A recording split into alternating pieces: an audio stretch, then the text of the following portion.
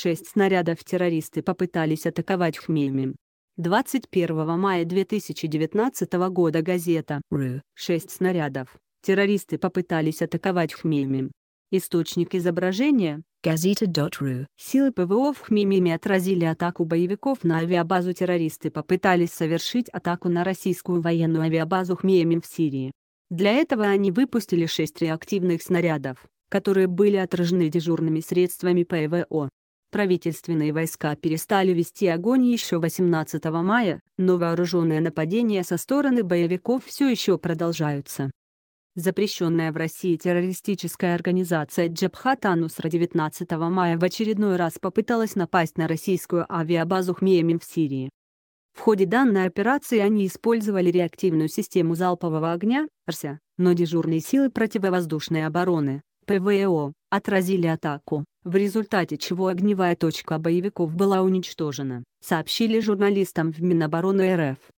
Около 20 часов в воскресенье с территории Идлибской зоны деэскалации по российской авиабазе террористами было выпущено 6 реактивных снарядов.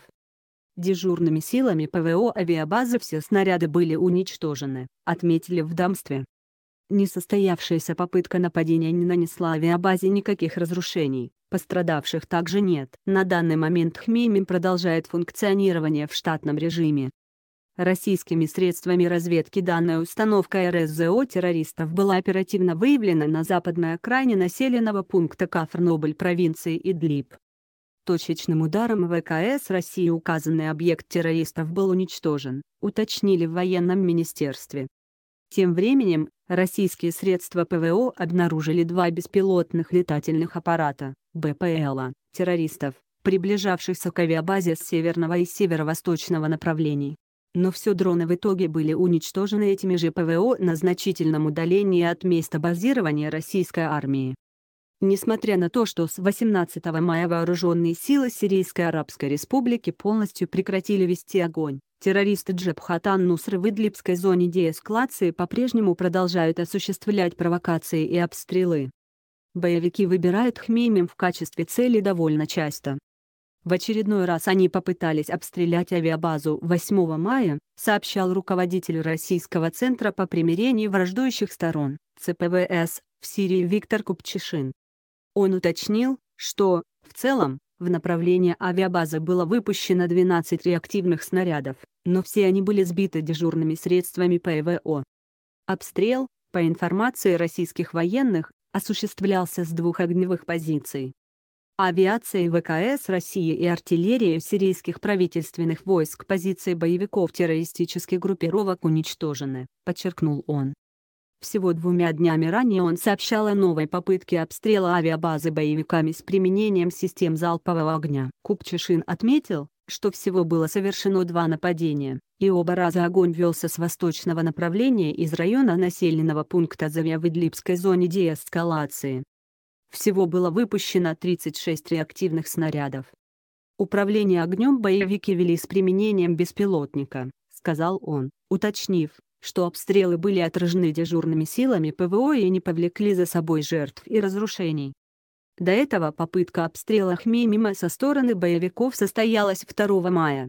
По словам Купчишина, атака велась со стороны боевиков незаконных вооруженных формирований, удерживающих позиции в районе населенных пунктов Калаат-эль-Мудик и Баапатика. Все обстрелы, как он отметил, были отражены. Разрушений и пострадавших, опять же, не было. Накануне этого он сообщил, что за апрель боевики 12 раз пытались обстрелять Хмельмим. Купчишин пояснил, что попытки обстрела продолжаются со стороны находящихся в Идлибской зоне деэскалации незаконных вооруженных формирований. Причем террористы пытаются атаковать не только российскую авиабазу, но и позиции сирийских правительственных войск в Латакии. По его словам, террористы пытались провести атаки, используя РСЗО и дроны, но все обстрелы были отражены. Из западных районов указанной зоны с начала апреля этого года осуществлено 12 обстрелов, в том числе с использованием беспилотных летательных аппаратов 8, указал генерал, подчеркнув, что ущерба объектам базы в результате инцидентов не было.